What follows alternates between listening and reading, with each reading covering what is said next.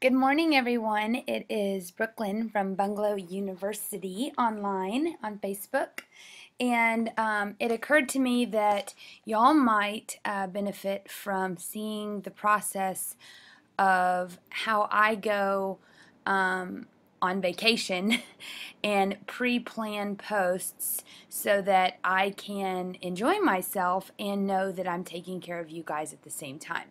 So I'm just going to kind of show you that. Right now you're looking at my extremely messy desktop.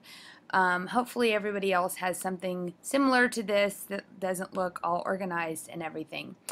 Um, I'm going to show you basically how I went back through a simple page of notes that I took at a mark, uh, DFW social media marketing meetup. Um, Erin Smith was the speaker, and I really liked the notes that I was scratching down, and I um, just basically found those in a pile of papers on my desk, went through, and I scheduled all my notes as individual posts over time on our Facebook page. So I'm going to show you how I did that. So I'm just going to go over here to um, Bungalow U right here. Click on that.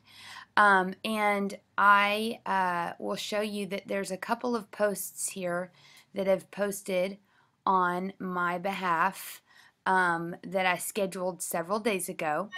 Um, and they post at 12:30 every day. You can pick what time you want them to post. I just chose lunchtime for this particular set of notes. Um, and the first one was before embarking on your goals, you must first define success for yourself. That was um, a cleaned up version of what I had written down on my notes. And let me show you what my notes look like. So that's page, that's the back, back side. So here's my note, uh, you know, legal pad piece of paper. And um, number one, I wrote at the very top, define below what success means. And I remembered what she said, and I turned that little, below, you know, defining what success means to you into a post. Um, and just to not swap back and forth too much, I want to show you that I went through all the notes and the thing, the high, the high points or the important points. I just put a little number beside it and circled it and pointed to it and highlighted it. And I did this part first. I read through the notes, which is also a good thing for you to do, is to go back and actually read the notes that you take so that you can better absorb what you learned. Um, then on the back side of that, I started with number six, clear goal. It's about clear goals. Um, then seven, I wanted that one to go next. Eight, nine, 10, 11, 12, and 13. And this is about some books that we were all talking about and suggested, um, she had suggested that we read. So, um, or that we read. So anyways, that's one day, one meeting, one hour, and these are the notes that I took and why not find a house or a place for this content instead of making it all up myself? Um, nobody in Bungalow University really expects me to know everything, and thank God because that'd be a lot of pressure. I get my information from people much smarter than me. I just go, I show up, I take notes, and I pass it on to you so that you uh, can go about your busy lives. So, again, those are my notes. That's my process. I ripped it out, took it inside the house with me, sat on the couch, and during, you know, the nightly TV show we were watching or whatever, I just kind of read through it during commercials and just highlighted and circled. No big deal. This is where um, it might help you as far as my process goes. So, um, I uh, took each one. This is number one. Embarking before embarking on your goals, you must first define success for yourself. You can see how I turned um, define below what success means into that post. Then what I did was I went to a Google search and I typed in the word success. I go to image, images, and then I just scrolled through until I found one that I liked. Then I scooted my page over, clicked on that, and I just dragged it over here to my desktop. Now, you can see how easy that was. But, let me just delete that one. I don't need extras. Um, I have this little folder called scheduling posts on my desktop. I drag all the pictures that I find into that folder so that I can easily decipher which ones they are on my desktop and delete them all at once after I'm done scheduling.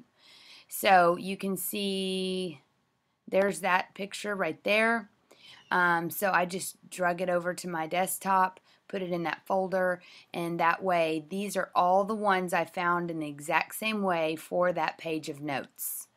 Because when you're posting something to Facebook, you want to make sure that you attach a video or 60% more likely to be looked at, read, and they get more screen time. They have more virtual real estate on the page because you could see this whole screen right here. The pictures are what capture your eye. All these pictures. So this one is, was obviously about success and what that means to you in order for you to in order for you to hold the key to that success. So then I've asked a call to action. If you do blank, you will gain blank. Complete the sentence in a comment below. There are no wrong answers because success means different things to different people at different points in their life. So I've just asked you to comment. Um, and don't worry if people haven't commented yet, like they haven't here. It's not a big deal because you really want to foster that community of engagement, and that takes a lot of time. So when people come to the group, they're going to search back through old posts and they're going to want to chime in. So this will eventually um, start gaining traction. Um, and at first, it might not, but it's the fact that you've shown up, you've been persistent, consistent, and posted um, over a long period of time. So again, this right here was content created from one notation on one piece of paper. It took me about three seconds. Now let me show you how I do this. Um, see right here, it says scheduled posts. Here's the number two. It says, number two, success is in direct correlation to the risks you are willing to take. Ask yourself, what outcome will I regret? And you will be able to find out what you're willing to risk. Please tell me below, again a call to action, what are you willing to risk to reap the rewards of a successful business? And again, I've given Erin credit right here, and I've called this my 13 day lunchtime series because I figured out there are 13 things that I want to share. And so, obviously, um, I've only scheduled 12 of them because I plan on doing something special with that uh, book launch or that uh, book post. So I'm just going to click here so that you can see the posts that are all scheduled on the behalf uh, on behalf of me um, over time. So on Monday, I've skipped the weekend. They stopped posting on Friday. Saturday and Sunday, I give y'all a break. And number three, she said, Your children will grow to be who you are, so be who you want them to be. Erin Smith said that, and I chose a picture. I knew exactly what picture I wanted for that um, of little Lila in a Volkswagen bus, and I'd be perfectly okay if she grew up to be um, like me, because I I'm a good person and I work really hard, and I may holler a lot, so I'm working on that. But anyways, so she is a little sweetie, and that's the picture I chose. Um, when entrepreneurs take risks and define what they will consider to be successful, a successful outcome, sometimes the outcome isn't near what they thought it would be. Despite an unexpected outcome, often the risk is still worth the unexpected reward. So um, I basically wrote an example of something that happened to me recently, and I mentioned the bazillion dollars in that post. Um, and so I, you know, found a word, I typed in bazillion on Google and found that picture and that's the one I used. So it's really no rhyme or reason. I'm just trying to attach a picture that kind of goes with a major word in the post that I'm doing. No matter how you feel, get up, dress up, show up, and never give up.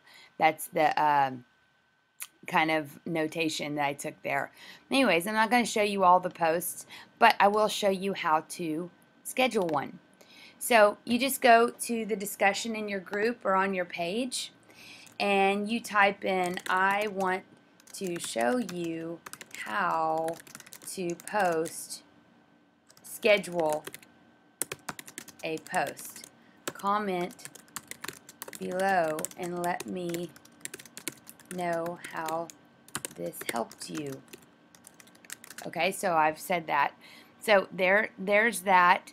And this is all about scheduling a post. So I'm going to go up here and I'm going to put schedule, scheduling a post. Let's see, got to go to images, see if there's anything there. Um, nothing. Oh, there we go. That's a good one, but see, it's watermarked with somebody else's stuff. I don't like that. So I'm just going to put scheduling here. And let's see. I like simple pictures because they don't really detract from what it is. That's very me. And that looks really confusing, but I'm going to make it super simple. So I'm going to drag that over there. Hopefully that picture, yep, there's that picture.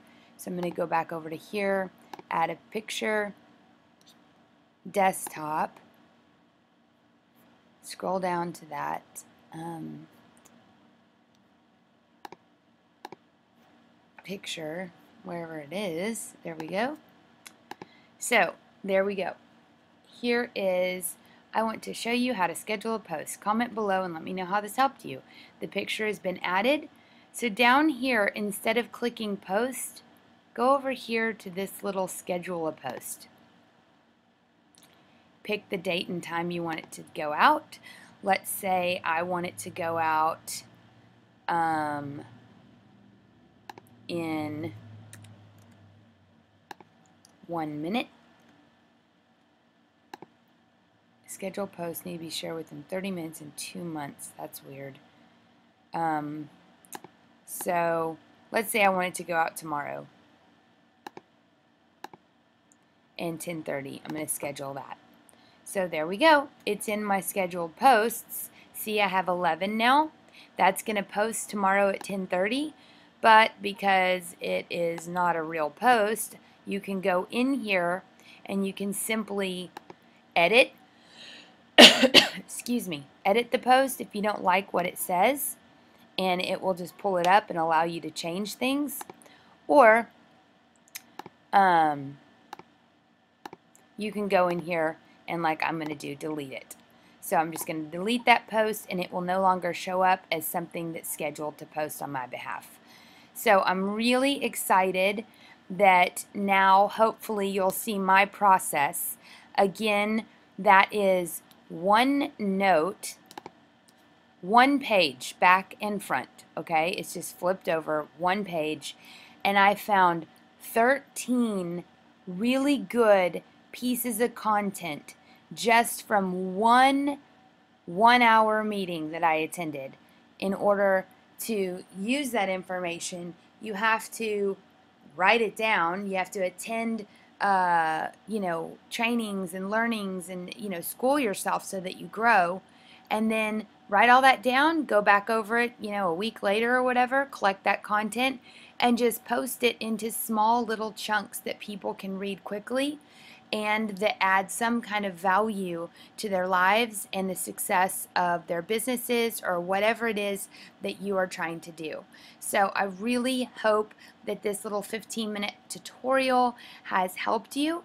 Um, please comment on this post and let me know if um, you learned anything and if so, uh, what it is that you learned. And I wholeheartedly 100% um, encourage you to attend the next DFW Social Media Marketing Meetup.